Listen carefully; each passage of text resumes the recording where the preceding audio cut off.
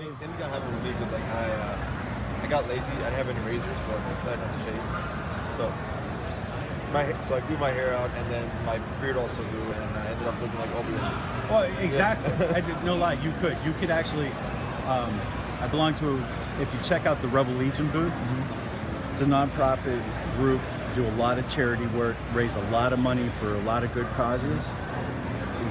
Go check it out. So you're a member of the Rebel Legion. I'm a member of the Rebel Legion and also the 501st. That's awesome. That's great. The funny thing is, I have Obi Wan as my profile picture on Facebook, Right. and everyone thinks it's me. Well, thank you, Mr. Gregg. I, I, I have had problems where people have taken pictures of Mark Hamill and they try to tag him, and it tags me. Oh my goodness.